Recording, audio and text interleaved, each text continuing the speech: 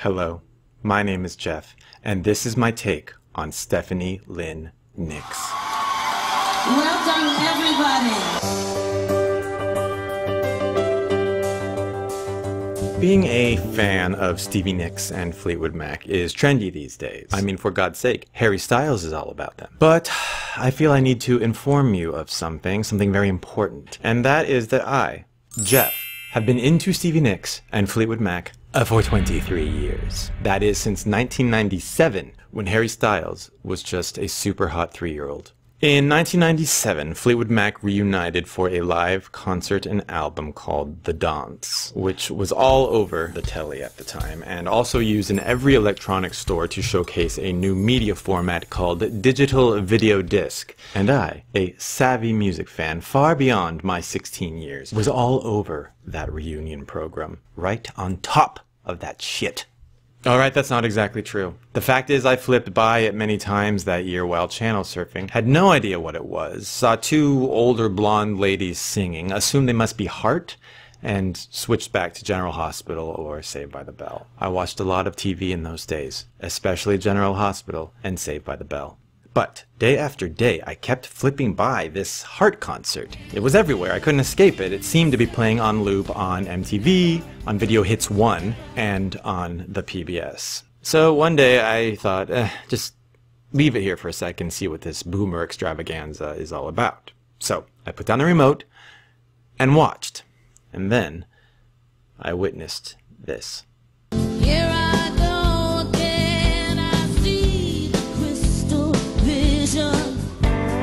And this.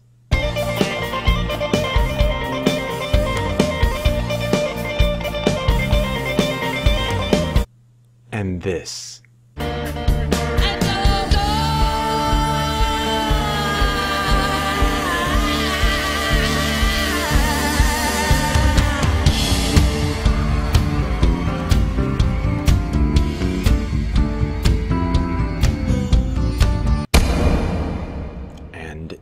Burgeoning young gay in me, too sophisticated to be obsessed by Madonna, too young to be existentially invested in Barbara or Cher, too, I don't know, mayonnaise to be overly taken with Whitney or Mariah, had found the one. It was her. It was this ethereal woman in her late 40s with long blonde hair and flowing black chiffon twirling around in shawls and singing about dreams and chains and gypsies and gold dust. Her voice was unusual, husky, mature, captivating. It was a voice that was lived in, that had been around the block. Who was this woman? Oh, that's the Stevie Nicks I've always heard about? And who's this dude on guitar she keeps ominously staring down? Apparently his name is Lindsey. The girl had a boy's name and the boy had a girl's name. How neat. It was good, catchy, light rock music, folky, acoustic electricy with a bit of an edge, played by genuinely talented musicians and incorporating just the right amount of theater. Next time it was on, I watched it again, from start to finish, and then again, and then again, and then again, and then again. And then I made my sister watch it, and my parents. I bought the CD and all the CDs, and all the solo work from both Stevie and Lindsey. I love Christine too. She's key. She's vital to the equation. My sister, Anne, 18 at the time, saw what was happening to me and resisted at first because up until then, Dave Matthews had been our band. We were Dave heads, and our most transcendent live musical experiences had been at Dave concerts during meandering LeRoi Moore saxophone solos. But her resistance was futile. She soon gave in and accepted that we were now Polly and the dance became a staple in the car and everywhere else. We were all in. I learned of Fleetwood Mac's dramatic history. I watched the behind the music. I utilized WebCrawler to execute internet searches on the Family Compact, where all kinds of information was available. I learned they had been broken up for years, and this had been a triumphant comeback. 1997 marked 20 years since the 1977 release of Rumors, Fleetwood Mac's monster smash breakup album, which sat at number one for a gazillion weeks and launched them into the popular stratosphere, making Fleetwood Mac fandom trendy. Rumors was actually the band's 10th album and the second to include new members Stevie Nicks and Lindsey Buckingham. Many people forget it was the previous so-called White album that featured Landslide, Rhiannon, Say You Love Me, Monday Morning, and more.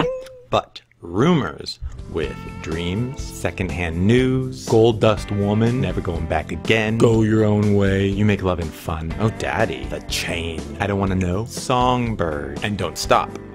Thinking about tomorrow. Put them over the top. Incestual love affairs and breakups and drug addictions ensued until the 80s were over, and so was the band. Former lovers Stevie and Lindsey were just too mad at each other. It was untenable, you guys. But now, this glorious reunion. The dance. And it included Silver Springs, which didn't make it on Rumors because there wasn't enough room because of the limitations of analog. So instead got released as a B-side to the Go Your Own Way single, but it really should have been on the album because it's a great old song. Silver Springs is a great old song. Thank you. It's a great old song, Lindsey. But wait. 16 year old Jeff discovered the dance was not just a concert album, but a tour, and are you kidding me? They had already been in my area. Only weeks before my enlightenment, they played the Shoreline Amphitheater in Mountain View, where my sister and I had taken in many a saxophone solo. F me. I missed them. Why, oh why hadn't I stopped and watched this months ago when they were heart? This was unacceptable. I had to experience them live. The following year, 1998, in the year of our Lord, Stevie put out a three-disc box set called Enchanted and toured solo. By then, my sister and I were complete devotees. Anne had begun to incorporate Stevie-esque touches into her fashion repertoire, and we attended the show in full garb. She completely Stevied out in a white witchy dress and purple suede boots, and myself dressed as Mick Fleetwood with a puffy white shirt, black vest with a gold chain, and balls hanging from my balls. We had fifth row center seats, and were the youngest and best looking people there by a mile. My sister turned many heads, mostly lesbian. Now, I knew going in that there was a tradition at Stevie's shows, a sacred ritual, if you will, called the Stevie Walk. Nick's heads knew that toward the end of the show, Edge of 17 was the cue for the front rows to rush the stage and prostrate themselves as Stevie walked the line, shaking hands, healing the infirm, and receiving gifts, offerings, and sacrifices from her disciples. Well, I was determined to participate. I was determined to be healed. Sure enough, when that electric guitar riff started, the crowd stirred, a collective consciousness awakened, and we bolted for the stage. I got a good spot center left. And Anne stayed back so she could capture the moment on the disposable camera we had smuggled in by stuffing it in the taint area of my underwear. Back then, there were no cameras allowed in concerts. Security would actually scold you. You had to be covert. Smartphones were still 10 years away. Anyway, the White Winged Doves were sung.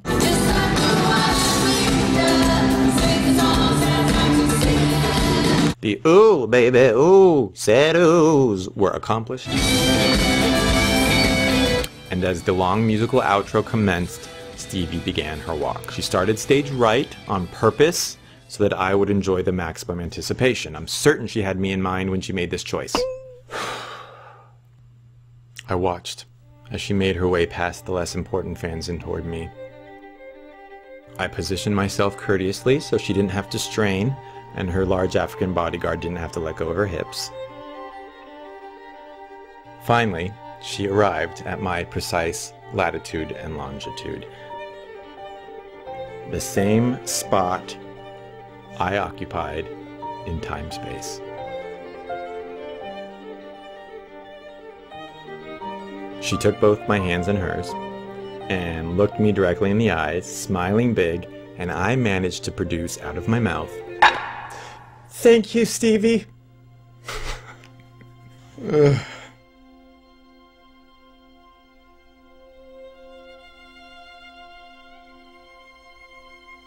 Thank you, Stevie. Thank you, Stevie.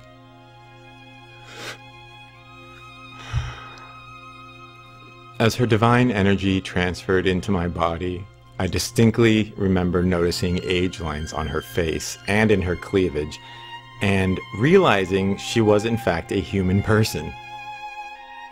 Moments later, as she performed Landslide, I took my love and I took it down. The woman standing next to me began to weep, looking over at me and confiding, I can't believe she's standing right in front of me singing this. And I saw my reflection in the snow covered hills till the landslide brought me down. I know. I went, because I did know. I completely understood what this random middle aged woman was feeling in that moment, being roughly Stevie's age and probably a fan half her life, with Stevie's music a large part of her own life's soundtrack as she grew up and older, experiencing love and loss and contemplating her mortality and what it all means. And now, Stevie was feet from her, singing her bittersweet anthem about time making you bolder and children getting older. Can I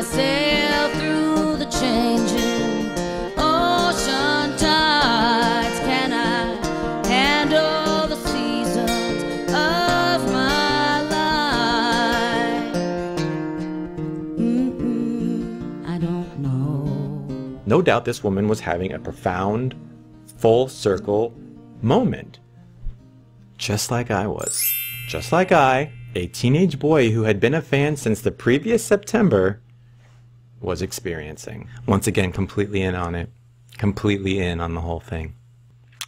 The following year, at the end of 1999, Stevie announced an intimate New Year's concert called Pondering the Millennium at the House of Blues in Los Angeles. It was 21 and over, so Anne and I and another friend secured fake IDs. Making the 300 mile drive from Santa Cruz and gambling on the IDs getting us through the door. On the drive down, while the three of us sang and goofed off, our friend lost control of the car and we spun out on the freeway. Rolled over slid windshield first into the embankment.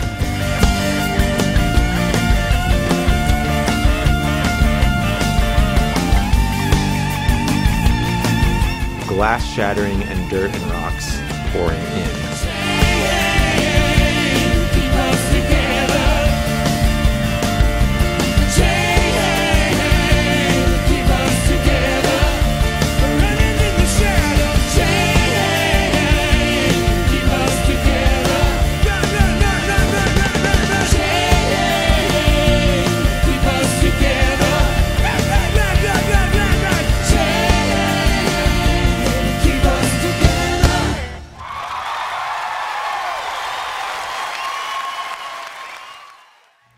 When we came to a stop, after realizing I was alive, my first thought was that the car would burst into flames like it always did on General Hospital and Saved by the Bell, so I frantically unlocked my seatbelt and scrambled out the broken window. Once out and standing, I had a terrifying moment. Everything was quiet, there was no sound coming out of the car, and I knew I had to bend down and look in to see if Anne and our friend were okay. I thought to myself, they might be dead. Anne might be dead. I have to look inside and see. And I have to do it now before the car bursts into flames. Well, they were scraped up and rattled, as I was, but they were alive, as I was. God had spared us so that we might ring in the new millennium with a pagan.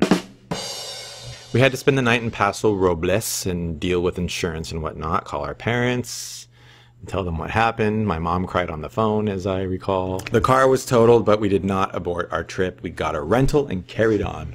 I came away with the distinct feeling that we had lucked out, dodged a bullet. It could have been very different. I could have looked into that car and seen something horrific. I probably wouldn't be able to walk away from another car accident that bad in my life.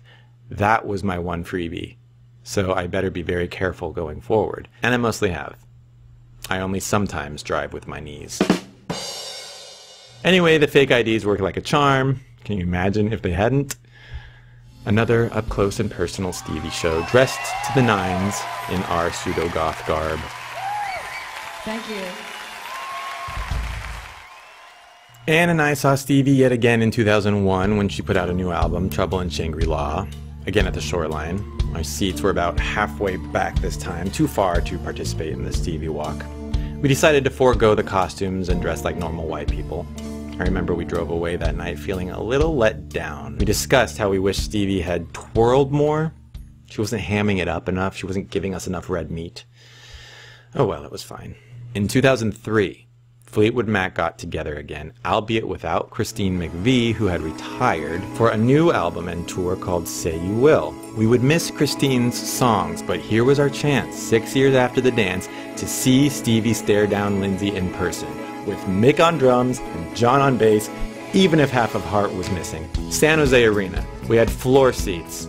We dressed up nice, but not like crazy people. I remember before the show Anne saying she hadn't been that excited for a concert in a long time since some of the earlier Dave shows.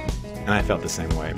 We ate up every minute of it, even the new songs, especially the new songs. When less sophisticated fans sat down or went to the bathroom, we didn't, not us, we were all over that shit. And Stevie delivered.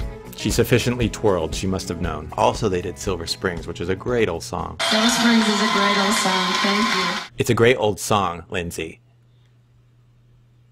Two years later, in 2005, Anne died. At the age of 26, from melanoma. A bullet she unfortunately hadn't dodged. I don't want to leave you guys, she said. I don't want to miss everything.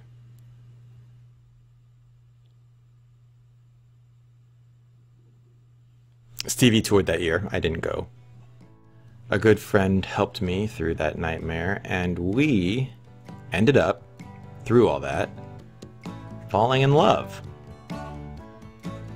Which is weird because we're both dudes. Another two years later, Stevie toured again, and I took that dude, whom I had of course turned into a fan. Concord Pavilion, decent seats. I got to rush the stage again at that show and do the Stevie walk. She touched my hands again. I don't remember what I said or if I said anything. We didn't take any pictures. Her voice was strong that night. In 2008, LeRoi Moore died, the saxophonist from Dave Matthews Band after an ATV accident. Christ almighty. No more meandering solos. The dude moved to the East Coast and I moved to Los Angeles, and after seven years together, we returned to friendship.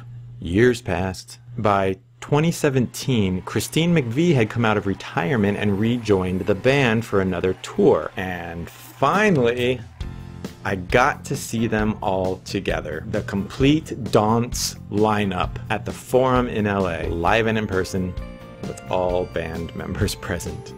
20 years after I first stopped on that channel. I went alone. I took a selfie outside with my iPhone. My seat was kind of high up in one of the side sections, but it was a good view and I was very excited.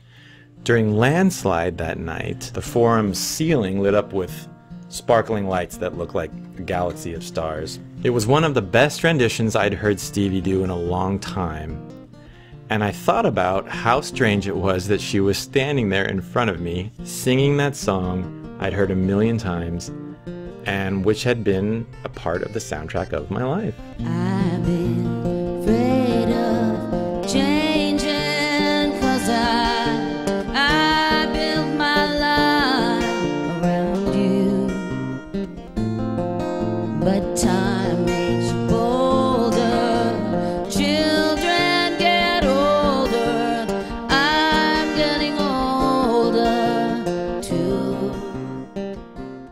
The Weeping Lady from 1998 crossed my mind.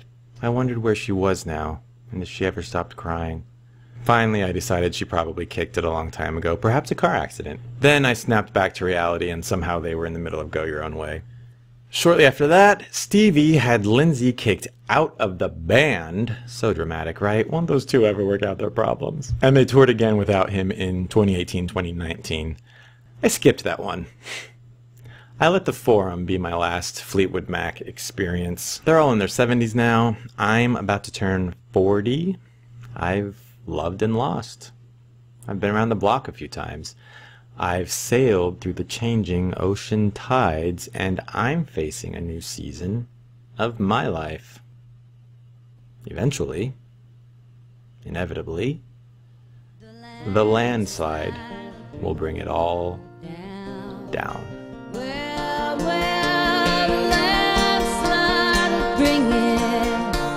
down.